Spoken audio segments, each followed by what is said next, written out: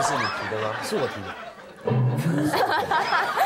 是因为我我老婆之前住的那个地方实在太太糟糕了，会淹水，你知道吗？哦，对对对，有一次我就是淹水没办法出门，你知道吗？他淹掉台车，对啊，为了这个差点翻脸。他家，没有，因为我自己也住桃园嘛，然后他住南港嘛，那个时候他会淹水，那我就想说，哎，我们是不是要找个地方住算了？那我平常通告也方便，你也离开这个地方，老淹水也不是办法。真的吗 那很爽吗？啊？OK 了，女儿都生了。不是，我就说，当他答应你要跟你住的时候，你当时的心情很爽。OK，我懂。比如说，如果说他今天要跟一个男人同居的话，他就要把他所有东西弄进去，然后他就开始布置，你知道吗？就是就是女孩子跟男孩子在一起最恐怖我。有个朋友很恐怖啊，他就是把他们家都弄得就是豹纹啊，反正就是那种 Kitty 猫，她男朋友车子都是 Kitty 猫的东西，就还蛮恐怖的。然后男朋友就是很无奈，这个这个是能接受吗？我不能，对不对？没有办法，他他可以在呃这个呃房子里面的某一个空间里面这样子弄，可是他整但你不家能全部弄这样子不行色的哦。那这不会太自私吗？不会啊，男朋友就是也还好，就是觉得无奈，可是可以接受，我觉得。对啊，那豹纹男朋友每天在家扮泰山，哦，回来了。泰山没有庆功。好，对不起。哎，等一下，我要反驳一下，嗯为什么叫做同居就是女生到男生的家去住？不是也有很多是男生到女生家去住啊。好，那我们反过来问，有那你们男生没想到，不是等一下，等一下，等一下，等一下，等一下，等一下，等一下。下，如果男生到女生家去住，难道你到他家去住，你不会把你东西搬过来吗？不是他的意思是全部弄成他喜欢的样子。就女孩子比较会，比如说有什么娃娃啊，哦，男生也现在也很流行什么打电动啊，什么公仔啊，也很多啊。对，好，如果说如果说一个男的，比如说一个男的要跟一个女的同居，他把他全部的行头全部搬过去，什么他喜欢的明星啦，好，公肌肉男的篮球员海报，海报，男生最好都没有。不是，如如果是果是说男生进去，如果这样做的话，那你们女孩子也会觉得很反感吗？还好啊，要看他怎么弄，那弄一个很丑，就是也是很没有办法接受。你本来是属于你的空间，好像就变了一样。比方。说，他很喜欢弄一些阿诺斯瓦辛格的照片，什么时候弄阿诺，我是死拖龙，好不好？不要误会了。对，比如他喜欢那种 Rocky 啊，那种这种的啊，那你们会疯掉，也是会的。我觉得看年纪耶。嗯嗯，我觉得如果比较年轻的，可能比较会有这样子的。那如果呃年纪稍微成熟一点的话，可能只是在他自己的书房或者是自己的空间偷笑什么，会做这样的事情。但是如果客厅或者是其他的空间共用的空空间的时候，可能会是就是两个协调好喜欢什么 style 什么风格的。你的男朋友住的地方是他曾经跟他以前的女朋友住过的，哦你们会再搬进去吗？住的地方是他曾经跟他以前的女朋友住过的，哦你们会再搬进去吗？对，觉得那个空间，还蛮不舒服。对，没办法接受，对不对？你搬家好不好？会不会？如果觉得地方不干要求净，会不会要求说，如果要住在一起，可以要换一个地方？至少要换床吧。不可能嘛，那个感觉就是整我个就是，觉得可能是换某些东西，比方说床单。所以你还是有可以可以容忍那个原来的那个住址哦，地址。没有，可能那个地方是 OK 的。那可能如果我过去的话，如果是我进去的话，我可能就大肆改变。内部装潢，床的方位一定要改一下，对不对？对，就是本来啊，你本来睡席梦思，我要睡水床，改一改，多少把内部的东西稍微改变一下就可以了，对对对不对？嗯。那请问一下，当你们的另外一半把床铺成粉红色的时候，你们能接受吗？粉红色还好，你都穿粉红色衬衫了。可以接受。对不起，我错了。粉红色啊，就是说，哎呀，这怎么讲？这可以勉强接受，那有蕾丝边勉，强接受。哦哦，然后加那个，我都不懂了，女孩子为什么喜欢蕾丝？对，我也因为男生喜欢蕾丝啊。我们还好。是不是有这种男生不是喜欢蕾丝，男生是喜欢脱掉蕾丝。不是喜欢蕾丝啊，喜欢蕾丝自己穿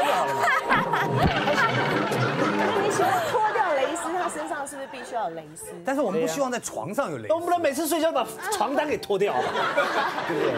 那要这样讲啊，就是说，如果说你你男朋友把那个床单呢，整个弄成迷彩的，打仗对不对？对啊，你们能接受吗？然后房间摆那个生存游戏的那个枪啊、枪弹对，啊。你们可以接受。我刚刚已经说了，房间不要啊，就是私人空间可以。那床单变成迷彩的嘞？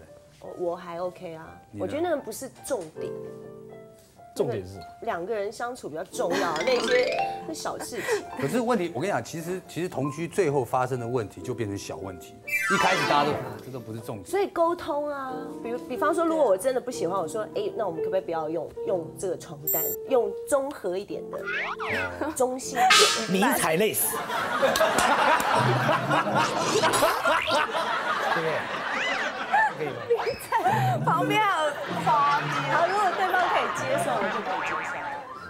哦，对的，那我问你们一个问题哦，哎。如果说今天你的你的家，然后你新交了一个女朋友，是的。然后呢，她就跟你同居住在一起，嗯。但是她常常在你的房间发现到你前女友的蕾丝睡衣，或者是内衣裤，或者是很多东西，那她问你说为什么她要留这个东西，你会怎么说？